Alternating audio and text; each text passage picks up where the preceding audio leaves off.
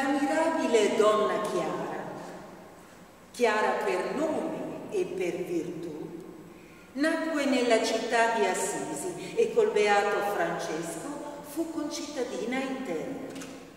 Fu così che cominciò ad essere lodata dalla bocca dei vicini e la notizia della sua bontà si diffuse tra il popolo. La notte seguente, preparatasi secondo il comando del santo, pone in atto la desiderata fuga. Qui lasciò cadere per mano dei frati i capelli, qui abbandonò i variegati ornamenti, qui ripudiò il mondo.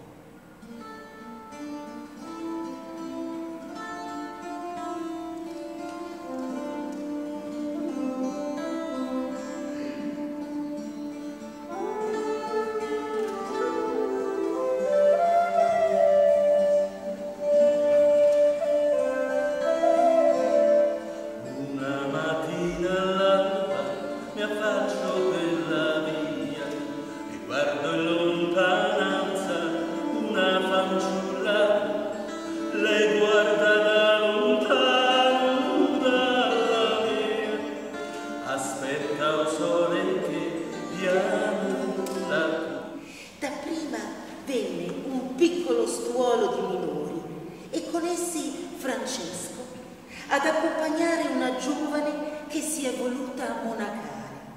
Il suo nome è chiaro. Sono tra sonno e veglia, ma un grido mi fa sobbalzare. Chiara! Chiara! È mia moglie che grida. Aggirandosi per la casa mi vengono alle labbra le parole ascoltate in un Vangelo tanto tempo fa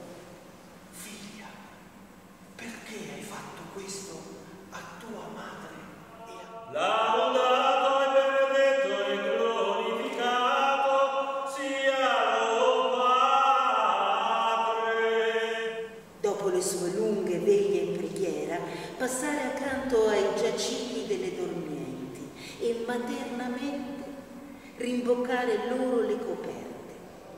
Ma come fare a rivolgere i miei discorsi a Chiara, a parlare della durezza della regola, adesso che lei mi ha già risposto?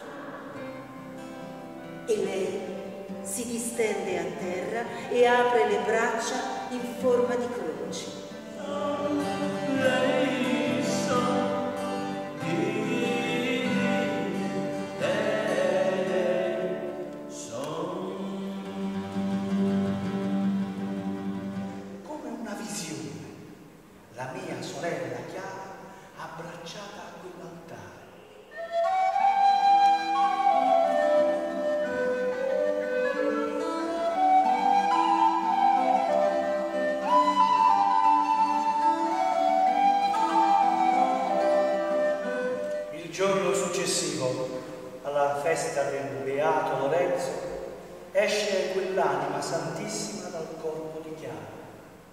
Infatti è questo il luogo dove il corpo del Santo Padre Francesco è stato riposto in un primo momento, come se chi a lei vivente aveva tracciato la via della vita, anche a lei morta, per uno strano presagio, avesse preparato il luogo del riposo.